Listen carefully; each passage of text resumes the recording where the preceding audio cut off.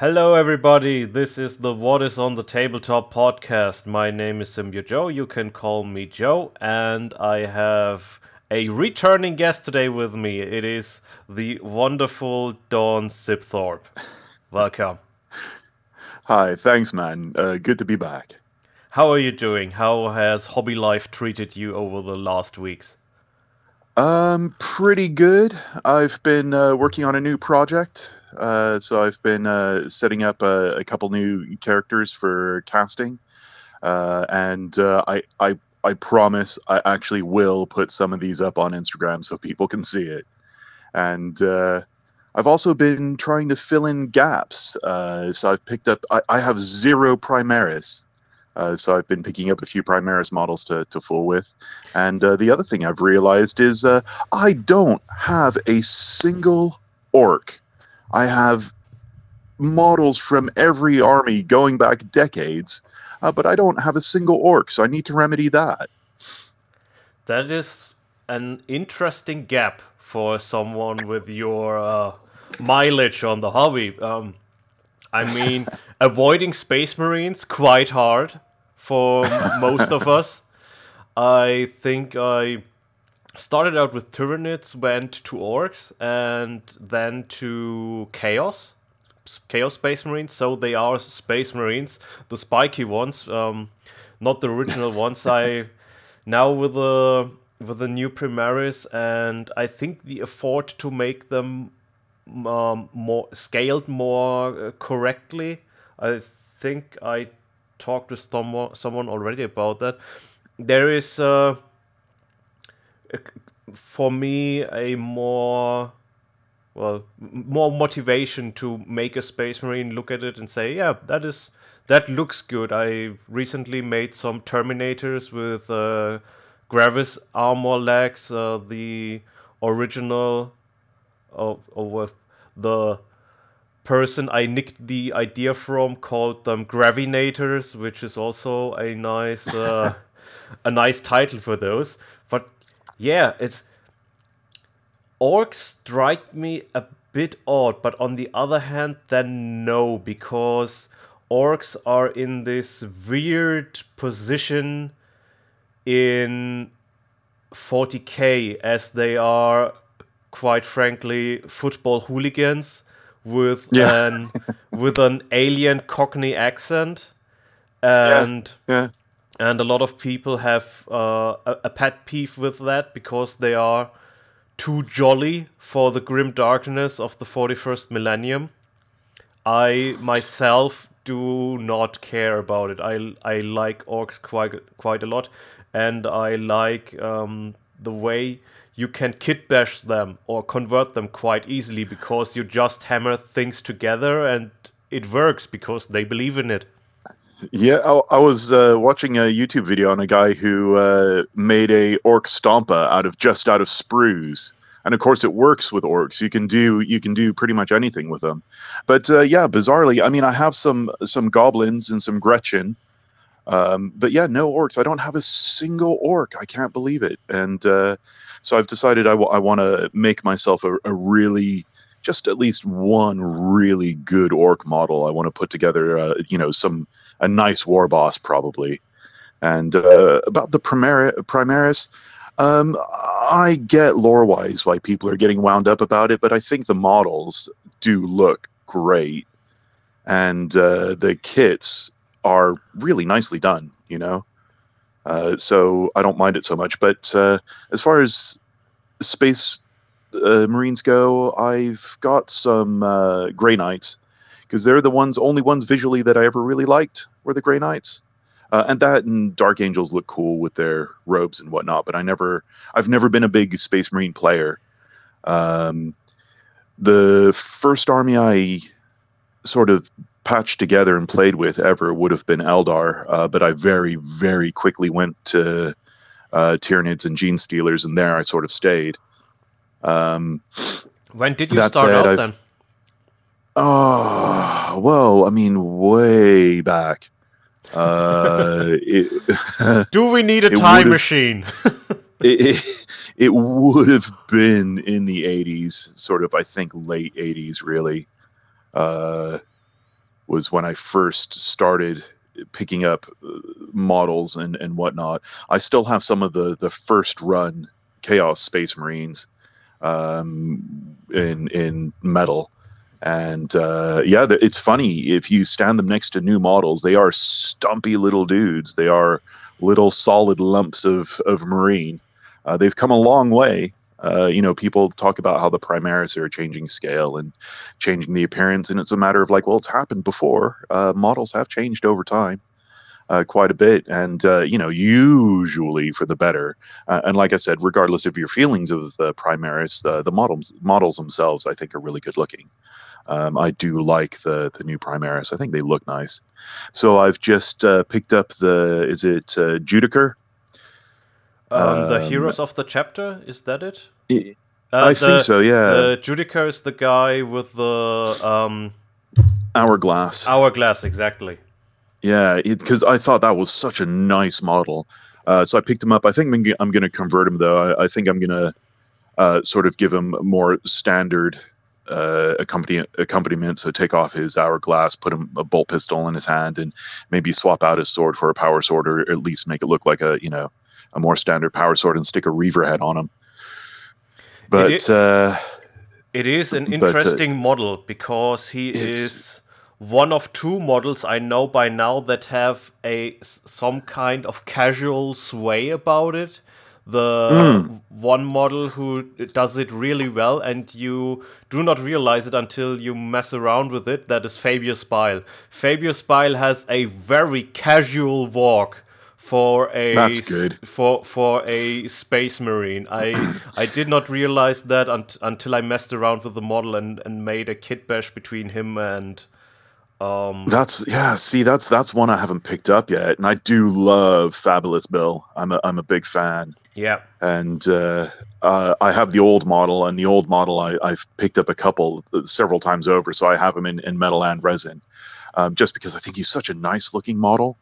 And uh, yeah, I'm still unsure about the new one, but uh, I keep on meaning to pick him up and have a look because he does look good.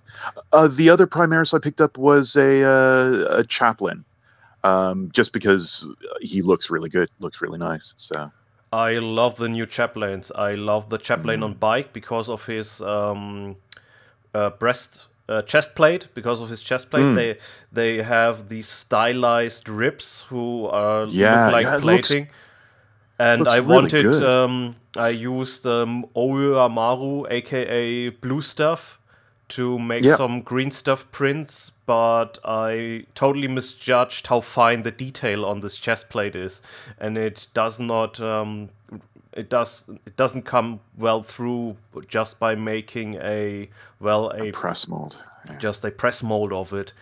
Um, astoundingly, on the other side, the chaplain that was released with the Indominus set with the um, skeleton angel on his chest plate. That comes along quite nicely. If you if you do it right and fill it out quite nice, um, you you can get you can still save a lot of detail from that chest plate. Excellent. Yeah, because I've I've decided I just want to have uh, since I'm putting together little war bands. Uh, I've decided I, I'm going to have a just a, a little squad of of good looking Marines, and I need to to piece together a Terminator. I think I'm almost definitely going to use a Grey Knight Terminator head just because I love those beetle heads. I think they're just really cool. They are. Are they close to original medieval helmets, or are they stylized medieval helmets? I'm not hundred uh, percent sure. They're they're pretty stylized because they're. I mean, there are medieval helmets that are similar uh, because they've got a real flat top. Yes. You know, they've got a you know a proper you, you could sit your cup of tea down on it but uh, but uh, they're they're you know definitely still very reminiscent uh, very derivative of, of medieval helmets but I, I just like that look. So i've been wondering if i can uh, manage to jam a, a gray knight terminator head into an aggressor body. Uh, see how that looks. Maybe. I'm not uh, well, it could work. They have a lot of um, bits and pieces that mm. um, are the 40k look the aggressors.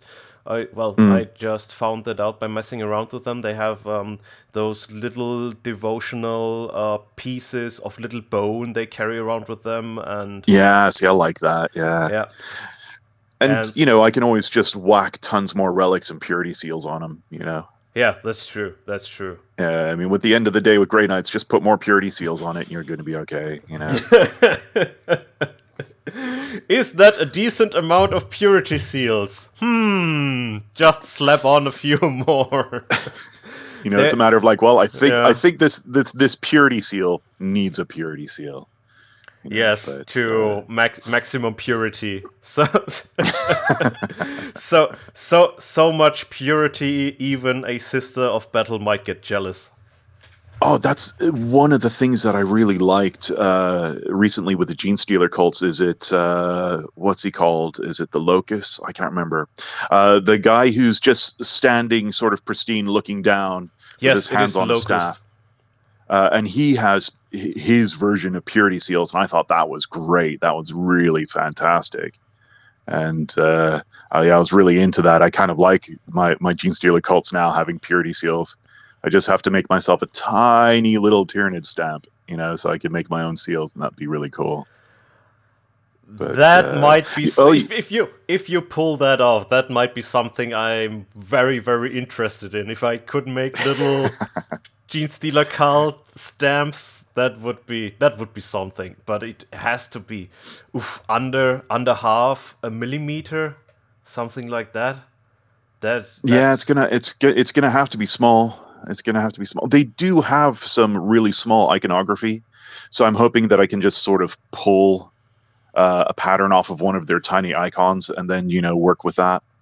I'm I'm good at working tiny, so that should work. But uh, yeah that is that But is yeah, yeah. certainly A, a skill one should have except you are flinhammer and you're only working on uh, giant gargants um, yeah, see, I like it. I like I like the tiny stuff myself. I've never been a vehicle guy. I mean, I I like some of the vehicles, but I don't. You know, for me, I like my infantry. I like my, which is one of the reasons why I like the Tyranids, is because it's all monsters.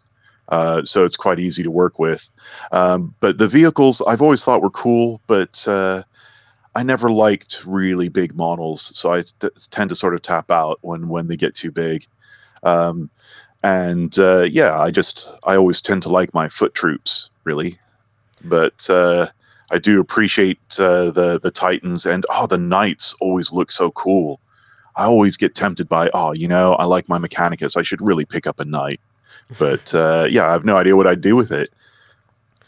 Yeah, if if you're not playing, they are really qu- quite a waste of space in my eyes. Well, I'm also not very much into the epic models that swapped over from well epic to 40k but coming back again to models that were and have resurfaced um, I will just quote uh, the GW provo- uh, promotion right now. What about Zoats?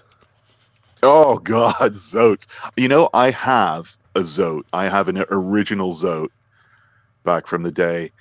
Man, Tyranids were were really weird when they first came out because of course Tyranids and Genestealers were separate back then.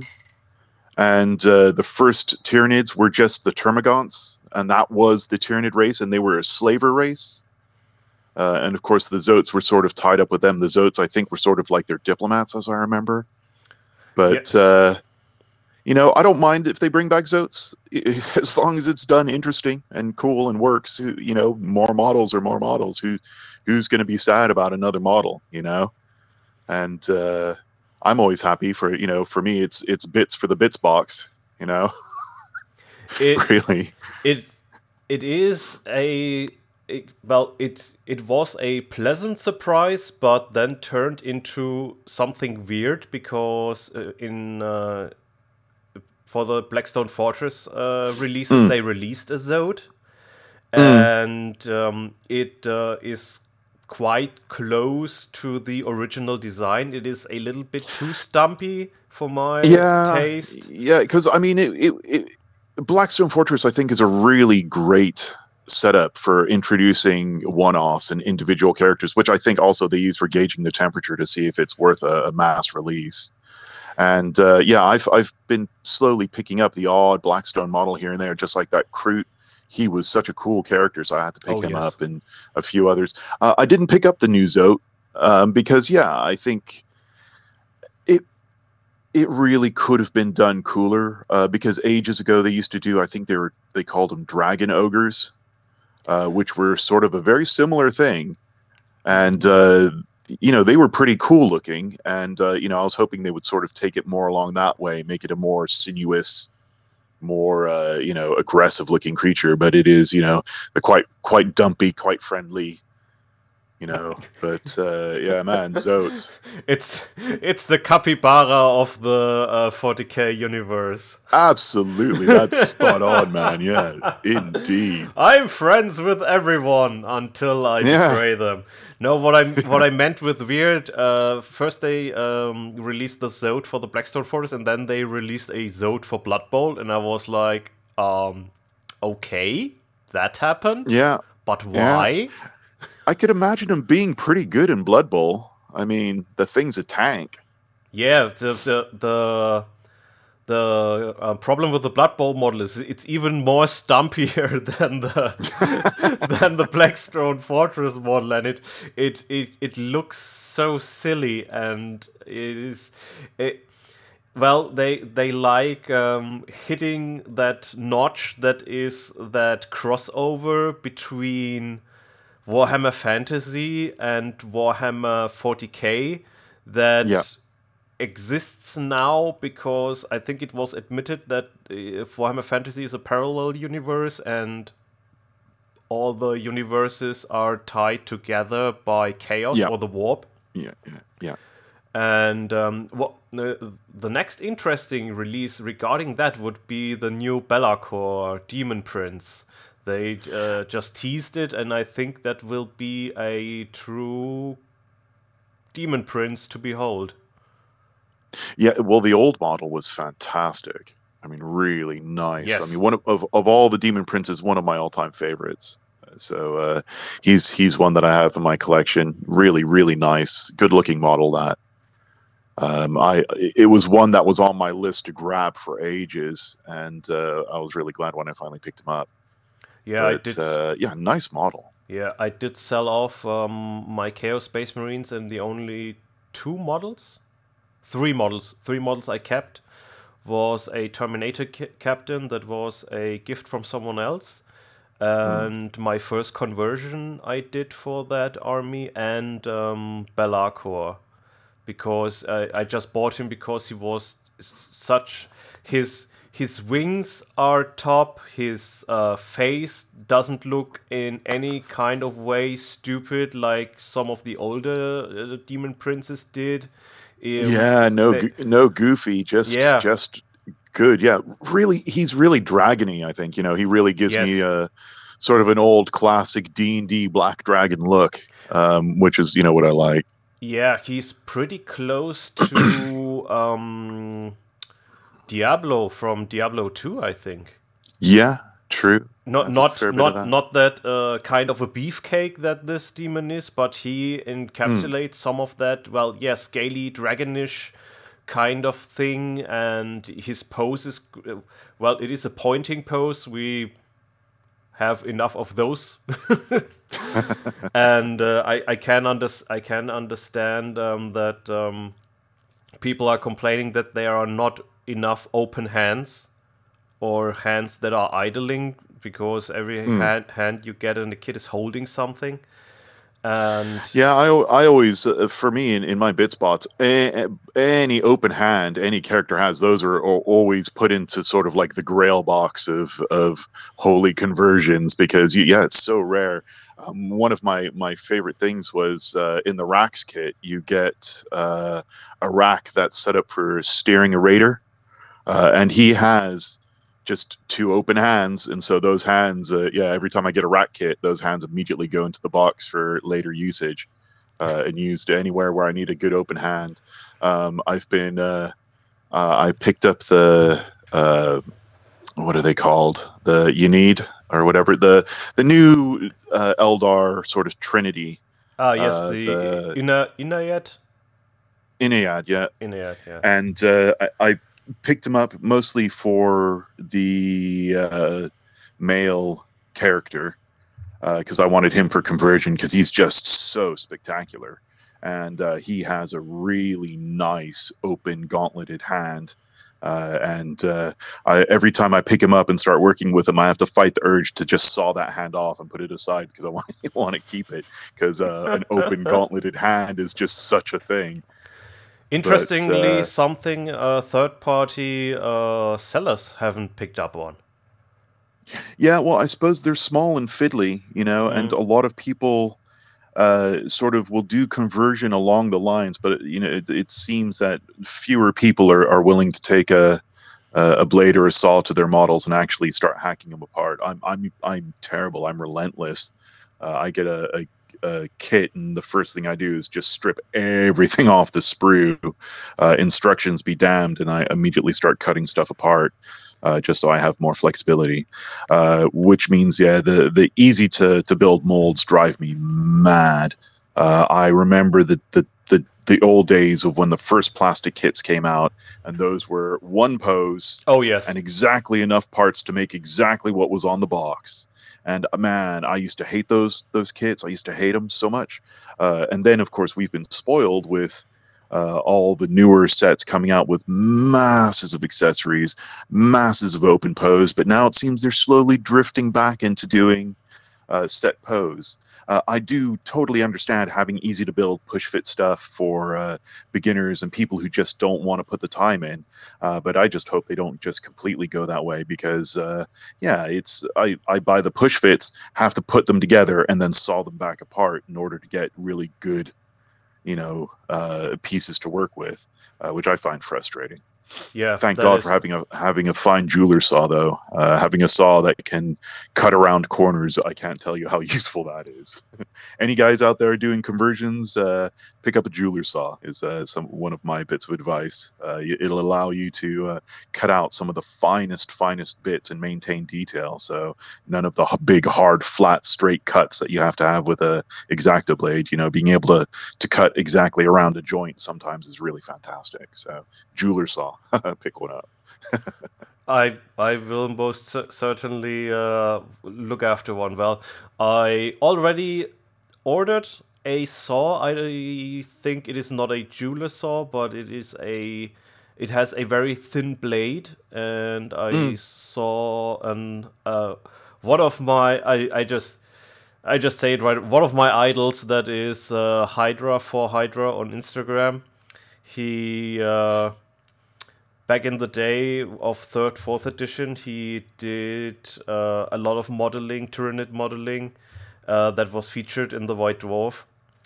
And uh, I recently, because he is reworking the Dimachaeron from uh, the Forge World uh, Tyranids, and he got um, he, he he got the task due to a challenge and uh, he hates that model so much. And I saw him uh, sawing through um, through uh, resin with that saw, and it, it looked like it had a really thin blade. And um, right now, when I do sawing, I actually do it with a metal saw, and that cuts out a lot of material.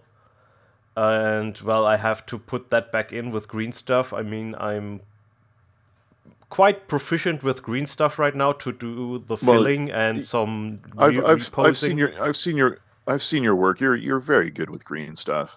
I mean, you do a great job. Um, I use green stuff a little bit, but these days, uh, since now most of the conversions I do, I'm converting for casting. Um, I'm using wax to to fill in because, of course, uh, it burns out more cleanly. And since I'm not painting these guys um, until after the effect, if I want to, uh, the wax is not a problem. Um, and wax, of course, is a lot more versatile than green stuff, but uh, no good for long term hobby. So for what I'm doing, it works out well. Um, me and green stuff get along okay. I would say I'm, I'm it doesn't I'm- bite I'm- you. no, I'm I'm okay with green stuff. I can usually, uh, you know, fake it, but uh, yeah, for me, uh, having the jeweler saw uh, works well. I mean, the, the thing that's nice is, of course, you can buy a variety of different blades, so you can get really almost hair thin fine blades if you if you really want, uh, and so therefore, you know, have minimal uh, material loss. You just the one thing I found is you've got to be careful. If you saw too fast, you end up heating up the plastic enough that it seals up behind you as you're sawing uh, meaning you have to do it again. that is um, uh, quite quite some rapid sawing you do there. yeah, well, I, do a lot of sawing, so. but uh, yeah, it's uh, it's interesting the the hobby kit you sort of build up. Um, of course, a lot of my hobby kit is uh, has drifted sort of dual function. So a lot of the the hobby kit that I use for my uh, miniatures is also my wax kit and my jeweler's kit. So it involves a lot of the same bits and pieces uh, of the files I use for my jewelry. I do tend to use all my plastics, but uh, I just make sure to keep my files very, very, very clean, uh, and that helps. And uh, yeah, I find uh, having a good file and taking good care of it uh, goes a long way. But yeah, I, I find some of the uh, Games Workshop hobby tools are very, very good. Some of them not for me, but uh, yeah. I've been enjoying their paint, their their extravagant paint pot recently. Uh, I was I got suckered in and bought one of their fancy paint paint pots. I gotta say, you know, it's nice. It's really nice. What what paint pot do you mean exactly? Um, they've it's the one that has the uh, uh, grooves in the back of it for retipping your brush. Okay. Uh, and it also has and it has corrugations on the bottom, so if you uh-huh. sweep your brush past it, it helps it helps knock okay. out. Okay, okay, just um, because. Sorry. At our hobby club, we had a conversation about uh, stuff um, Games Workshop sells, and you, mm. of course, most of the time get from somewhere else cheaper. Yeah. And and one of the new guys uh, said, "Well, you know, you lost the control over your life when you bu- when you are buying that painting pot because he he thinks it's absolutely useless." and, well, it's and, funny because it's like I've uh, for so long I've just used a jar. You know, yes. I just I've had a jar and that's worked fine, and. uh my local games workshop, the manager is a really nice guy, and uh, he's learned that with me, I don't really care that much about, you know, the big armies and stuff like that because I'm not a big player. I like little war bands. I like interesting characters. Um, he knows he can usually sell me the fluff, and uh, frequently uh, he's learned not to offer me the hobby stuff because he knows um, I come from a sculpting and jeweler background, so my tools are. Yeah. For the most part, way beyond anything Games Workshop spits out. Um, however, he did manage to catch me with uh, the miniature handles, the painting handles, uh, and uh, I immediately picked up a couple of those, uh, the original ones they put out, uh, yeah. and uh, I really like them. You know, they're they're really good.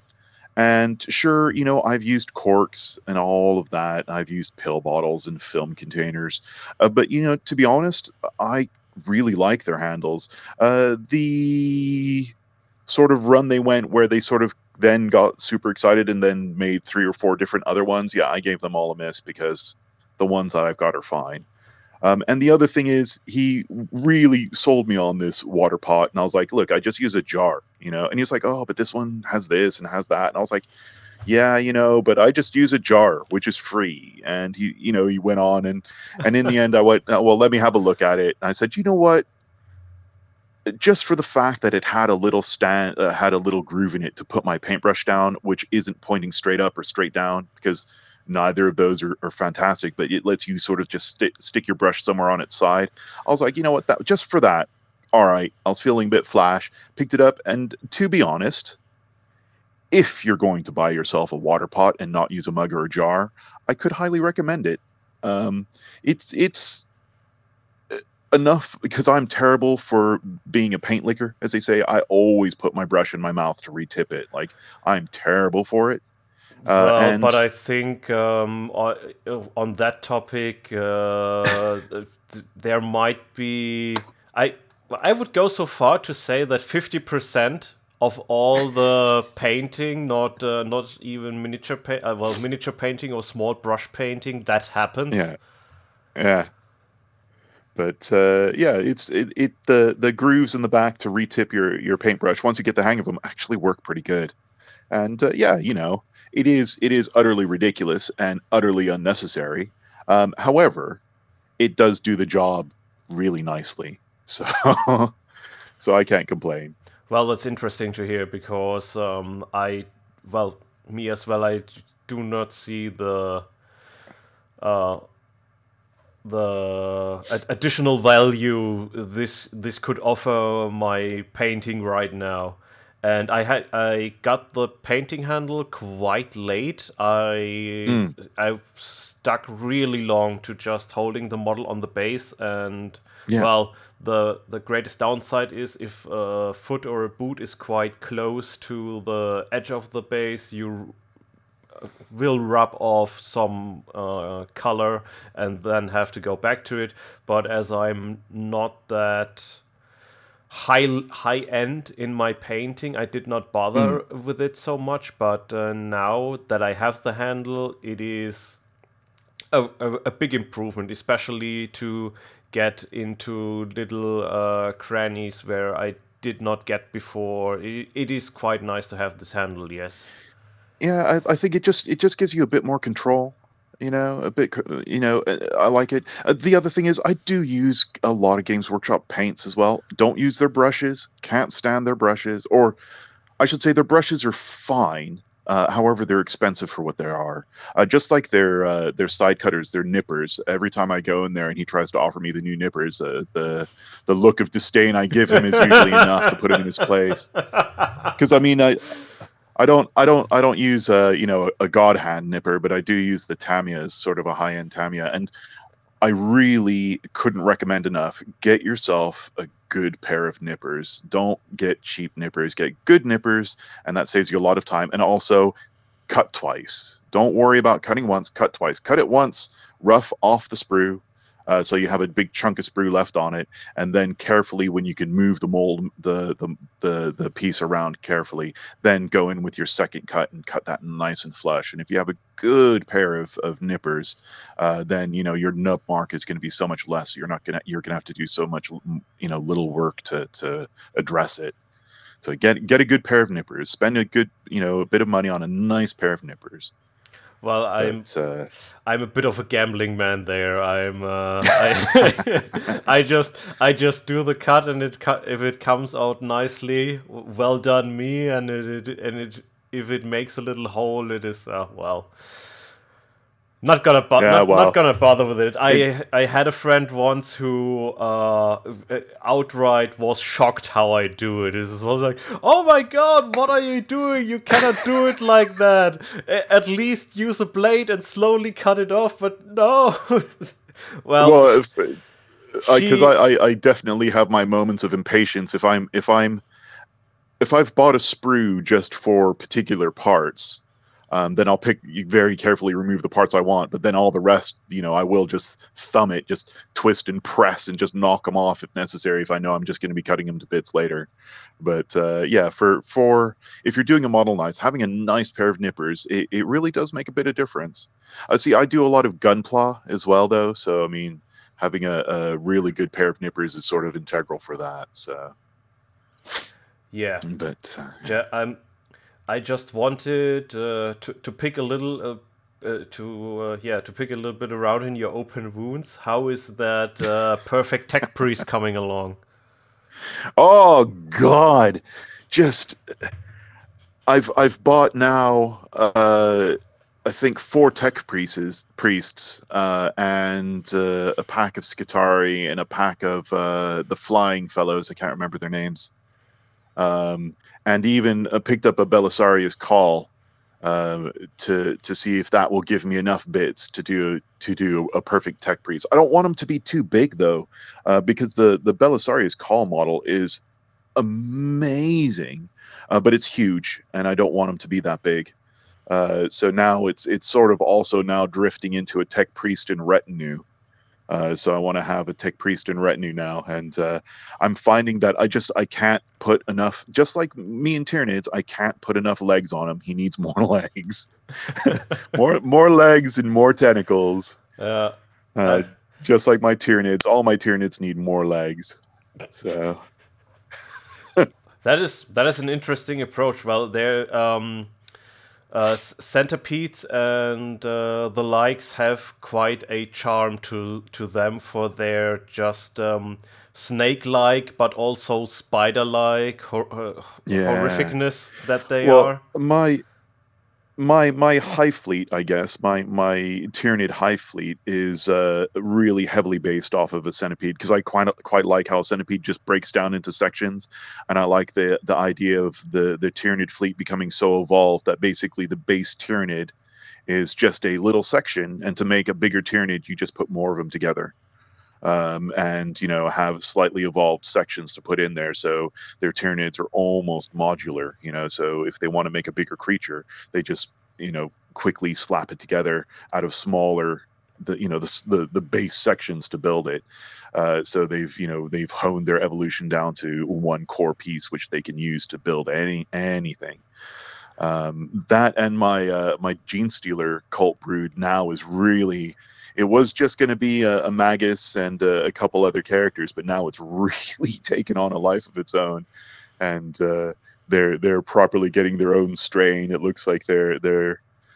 Uh, well, I've got this idea of after our talk of abominants, I, I immediately went out and bought myself another box of abominants, uh, or uh, sorry, aberrants, uh, aberrants, I should say Yeah, yeah. and uh, now I'm making uh, two new because I've got the my two brothers that I've already made, my two big big fellows, and I've decided I need two more, uh, but I want them to be emulating a Lictor and a Carnifex.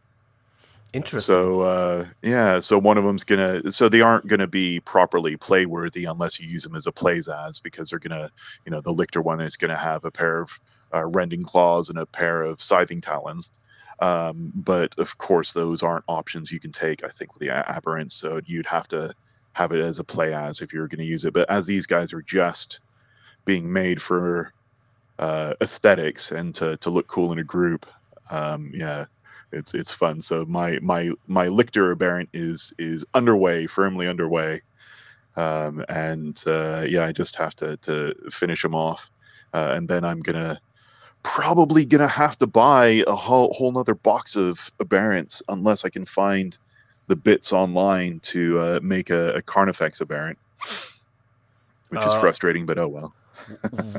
What bits would you want to use to make a Carnifex aberrant? I'm very Uh, curious. it's the it's uh, well uh, I have I've managed to get the because I'm going to use the big crushing claws from I think the the uh, neophyte sprue. Ah, yes.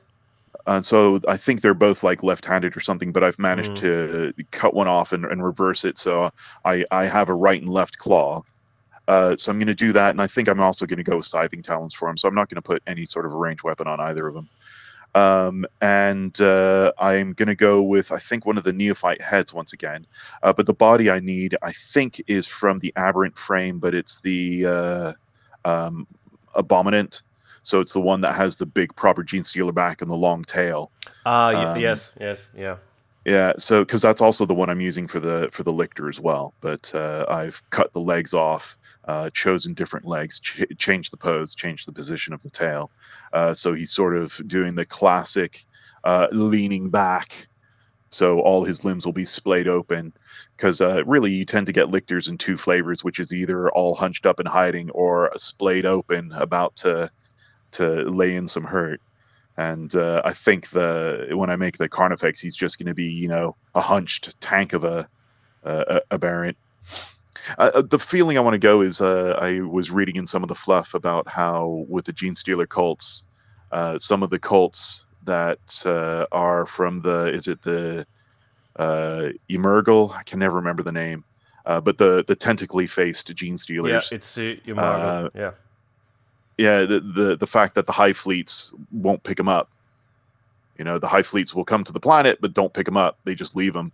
And I kind of like the idea of this may be one of those cults, and so has evolved so long over time and has traveled over time that it's beginning to even drift into its own hive fleet. So you know it's beginning to take on uh, you know, a Lictor, a Lictor character and a, a Carnifex character. So although they are still aberrants and they're a lot smaller, that you can see that those genes are still trickling around in there and, and pushing for other forms.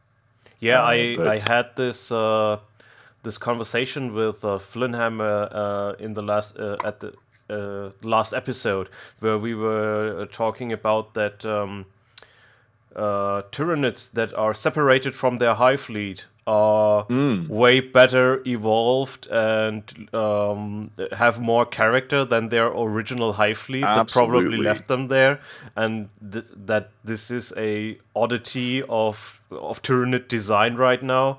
Um, I think there was uh, I don't know who who made them. Uh, who made it? It was a Carnifex that was adapted to um, underhive living. Also oh, that's interesting. also a cre- it, it gets better. Um, also uh, f- forgotten in the underhive and the creature itself um, adapted some form of um, anglerfish hunting so he had uh, on his carapace back a little pole with uh, well a lantern but that lantern was emitting radioactive um, sequences or, or waves that you would normally find in old technology constructs Excellent. to, to, That's to, great. to lure uh, underhive scavengers down to him and eat them. Uh, it is a, a, relatively simple conversion, but it has so much character, and uh, the, the the fluff for it is so great.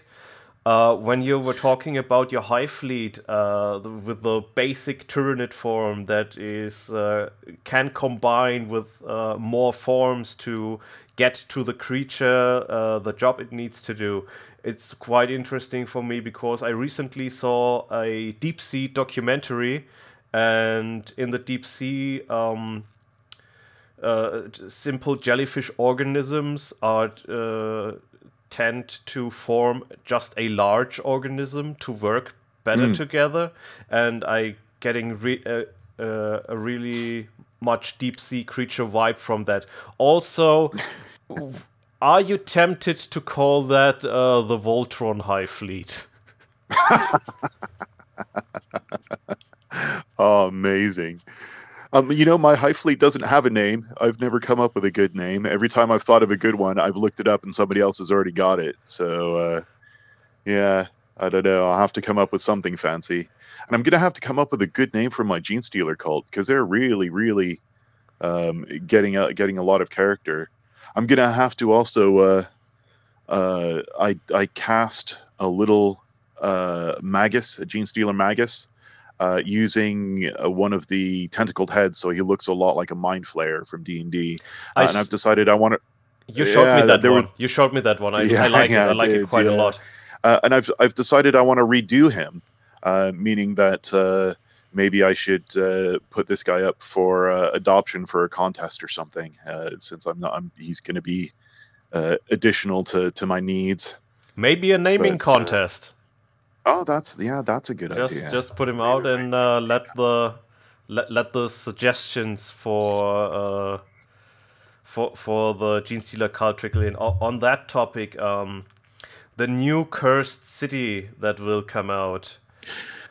I I've, might uh, want just... to make a little coven of Genestealer Magi now because they have a mage character in it that is a little hunched Do over, they? and uh, it, it, just comes to head swaps. I mean, I still have the Blackstone Fortress um, Navigator. You can well turn into a Magus uh, just by head swap, and in that kit you get a mage and a priestess. You could huh. very well just by head swap turn into Genestealer Magi, and that is something something new for my main main project road that is slowly coming to an end. Believe it or not. mine mine is never ending. I've I've got projects that go back decades that I still haven't finished. There's always so always something. Uh, the Curse City thing is really interesting. I've just seen the the first little bits of it. I haven't looked into it. Is that basically the new Mordheim? Is that is that the angle? Is Uh, it is most likely Blackstone Fortress for fantasy. It yeah, so Is, yeah, so um, similar. Yeah, it is uh, a uh, a fix or well variable set of adventurers that has uh, to move through that city and uh, kill monsters, collect treasure, and get better over time, I suppose, because Yeah. it has a lot of the dices that uh, Blackstone Fortress has, and you seem to play it on cardboard cutouts as well. What they I I'm not hundred percent sure if they already announced it that you can get uh, the data sheets to play it and play the stuff in other systems, because there are new vampires uh, coming out as well who also look gorgeous. And Yeah, yeah, see, I, I I always do like a good vampire model. you yeah.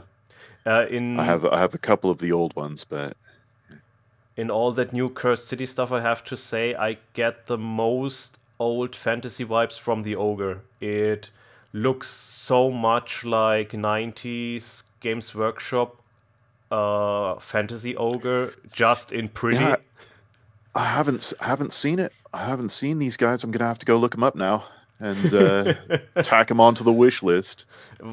Oh, and also, I mean, you want instant uh, Genestealer cult members and and Magi? Just pick up the the uh, Necromunda Delaque gang. oh which, yes yeah If nothing else, they're fantastic models.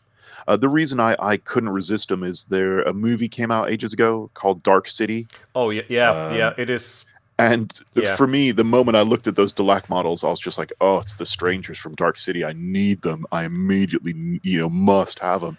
And yeah, what a cool, cool little set. Uh, really nice. Once again, fantastic. Really characterful models. Uh, they also remind me a bit of. Uh, there's another movie out called uh, City of Lost Children, French movie. Um, and the characters in there, some of the the bad guys, the Cyclops, uh, look very much like that as well. So uh, both of those movies in my favorites as well. So I, I had to get the Delaque. They look great though, really good looking.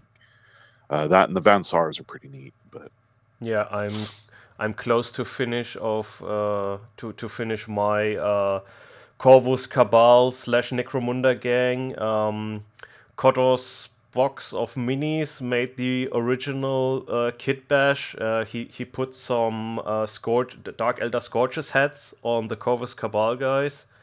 And some Dark Eldar weaponry, and it fits so well with these guys. I made nine models. I'm close to finishing. I just have to do the, the eyes because it is nine models and I'm so bad at badge painting.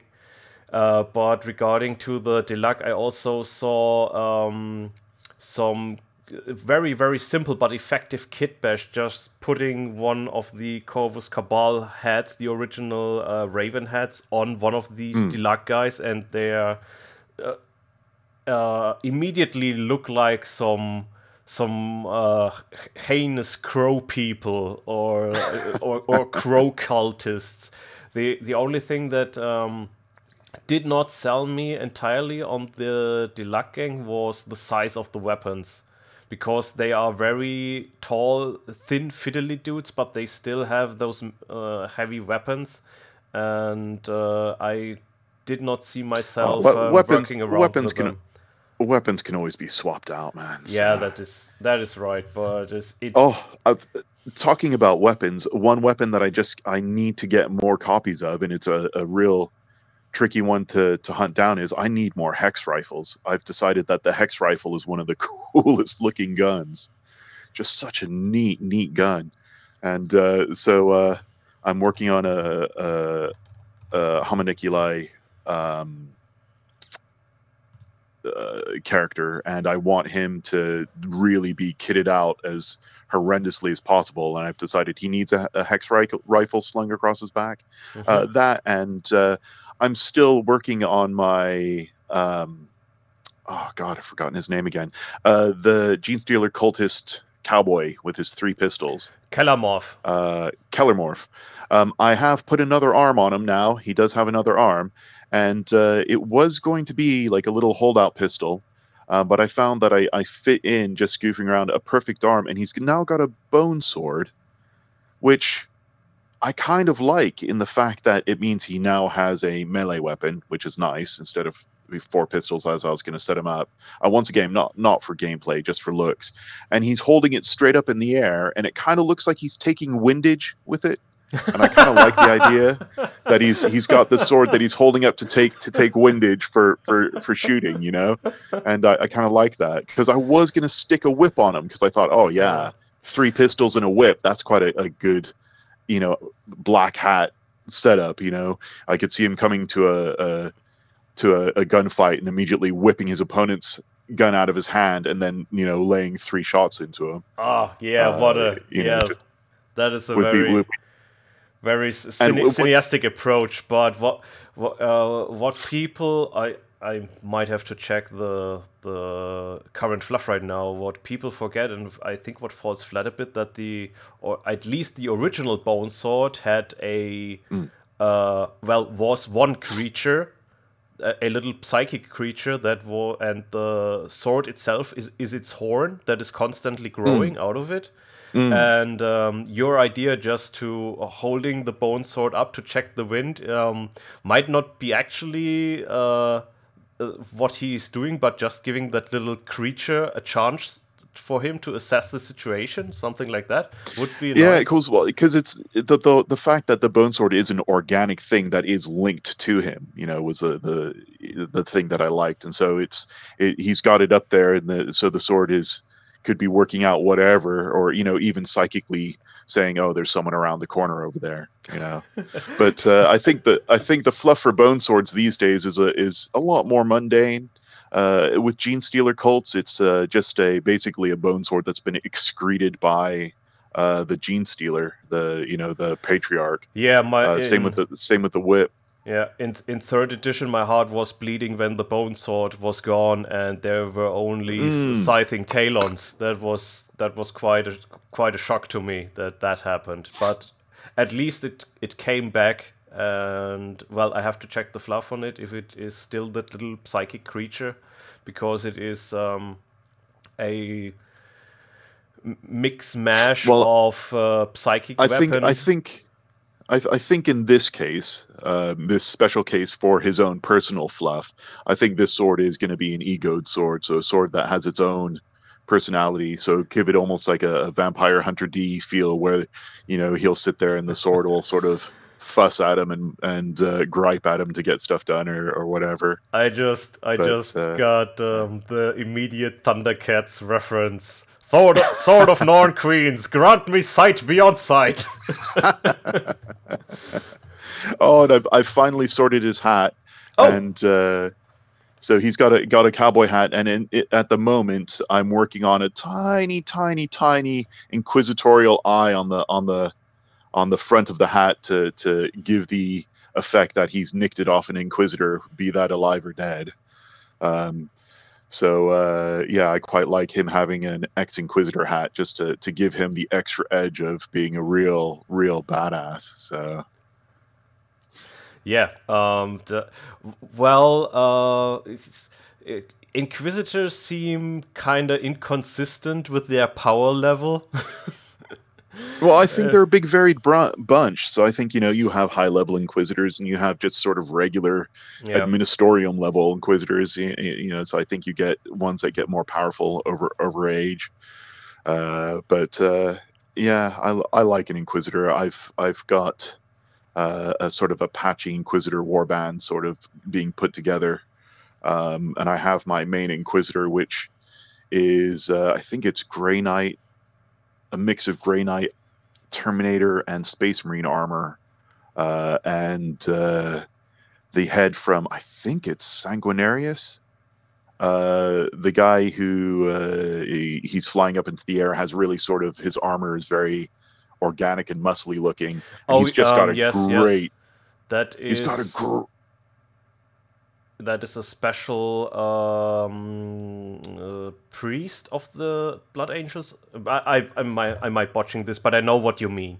Yeah, I can't, I can't remember his name. All I remember was uh, I, I wanted his armor for a chaos conversion, uh, so I immediately sawed his head off and put it in a box, uh, and the rest of his body parted out to chaos.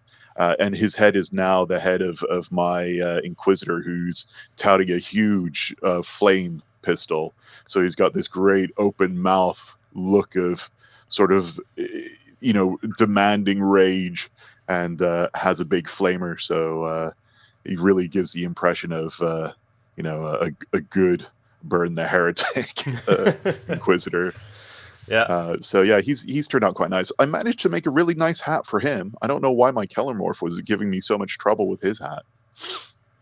Uh, Don, uh, the only thing I can do is urge you to, to share your work in progress with the world. I, I mean, um, on on one hand, I really want to see it. On the other hand, I fear that I want to do these conversions than myself and uh, well uh, it is it is ba back to uh, wild side project road well tomorrow i am uh, casting a couple miniatures um, i have taken photos of uh, it's an aberrant uh, i've taken photos of the aberrant pretty much almost sort of beginning to end uh, so I was planning on putting the the whole gallery of photos up so people can see the whole process um, from be- beginning to end. And at the moment, right now, uh, he's in the the most horrifying because he's in burnout, which basically means. Uh, yesterday, I filled his mold up with plaster, which is really the point of no return, uh, because the moment the plaster is poured in there, uh, the moment that plaster is hardened, you're not getting your miniature back. Uh, you could technically try to break the plaster off, uh, but to break off the plaster without utterly destroying the miniature uh, would be very hard, and to get the plaster out of all the detail would be almost impossible. Uh, so once you pour the plaster in, you're kind of that's it. You could technically get out of it, but the moment it goes in the kiln, um, that's it. That's at the moment um, that character exists only as a void in space. So it's literally nothing. It's an empty space inside of a plaster mold. Uh, so tomorrow I'll be filling it up with bronze, and we'll see if it works. So if it works, uh, in the next couple days, I'll, I'll put a gallery of uh, pictures up of the whole process, so uh, people can see the the you know miniature going from uh, this one was a real real mild conversion. I think the only conversion was I put a uh, a neophyte head on it, and then sticking to my uh, forearm rule of, of the higher ups in my genestealer cult all will have forearms. Um, he has a little tiny familiar arm uh, attached to him as well. So he's got his three main arms uh, wielding a, a, a, power hammer. Uh, and then he's got this little tiny familiar arm, which is uh, nestled in underneath one of his arms, pointing in the direction that he's going to hit. So it's as if this little tiny arm, although it can't do the grunt work of holding, is you know pointing at the foe. but uh, yeah, I quite quite like him. Uh, so he's just had some real real light conversion, um, but uh, still I, I showed it so it could be seen. So uh, just to, to show the process, uh, the only part of the process which wasn't seen because I didn't think to photograph it, which I should have done, uh, is of course when I'm putting miniatures together for casting, uh, you've got to fill in all the voids with wax. So if he's got a hollow body, uh, that hollow body has to be filled in with wax because if it's not, that means when you're vacuum investing it, so putting the plaster in and, and hitting the vacuum, uh, that might collapse if it's just an open bubble, or, or it might suck in plaster, which means when you cast it, you then have a big ball of plaster that's rolling around in the mold, so you'll lose loads of detail, or it won't cast at all, even. So you've got to uh, make sure you fill in any voids with wax. Uh, and uh, that part I didn't show. But other than that, and uh, yeah, it, when the casting comes out, I'll, I'll make sure to actually, for once, put the photos up on Instagram. well, fingers crossed for that. I'm I'm really looking forward to, to it, and uh, yeah. What more can I say that we already burned through an hour again? It really wow. Yeah, it is. I was. Uh, I'm I'm uh, sometimes peaking a little bit at the at the time to show where we're at, where we're at. And the last time I think was 20 minutes in, and now I'm looking down on it. We are at the uh, yeah, we are at the one hour mark, and I was like, oh, this went way too fast. but uh, but that's a good sign. I I really really like talking to you, listening to your great ideas when it comes to Tyranid design. I you really well, have man, to. it's it's You have It's to put pleasure, more of it man. out there. Is this? Uh, I don't. I, I don't have that sway, but maybe uh, I I can can get you in with I should I should with modern I said that- synthesis to discuss some some uh, Tyranid design stuff because uh, there's a little group of three people. It's modern synthesis, Hive Fleet Moloch, and for Hydra, and uh, yeah, they are dedicated February to remake one Tyranid kit to look more Tyranid. And wow. w- what I've heard from you so far, uh, you would you would fit right in. well, I'm always trying to make the perfect Tyranid, you know. So yeah. it's always always always on the cards. Always going to try to work for a perfect Tyranid. So, and I've got a special soft spot for. Uh, if we're not talking about genestealers, I've got a special soft spot for lictors, and I quite like a Ravener. Ever since they made uh, the Red Terror, I've been into Raveners. Interesting. But, uh, never never thought their Raveners looked quite right. So you know, I've always worked yes. on them. Yeah. It, it I it, now that we talked about it, I think the the centipede look would fit them more. Yeah, it would, absolutely. would make them more horrifying You- than the snake look. You see, you see, with Tyranids, it's always about more legs. You've just got to put on more legs. I, tr- I try I try to keep that in mind. Okay, um, thanks for your time again. My pleasure. My it absolute was pleasure, it man. was fun. I think uh, I I will talk to I will talk to you again. I don't know uh, when exactly because uh, for March I have uh, two guests coming up. Um, maybe middle of March, end of March. We will stay in contact, my friend. Yeah, of course, man. Of course. And I'll be I'll be happy to have another chat with you, man. So- Nice. So this is the What is on the Tabletop podcast. My name is Symbio Joe, and have a have a good one, everybody.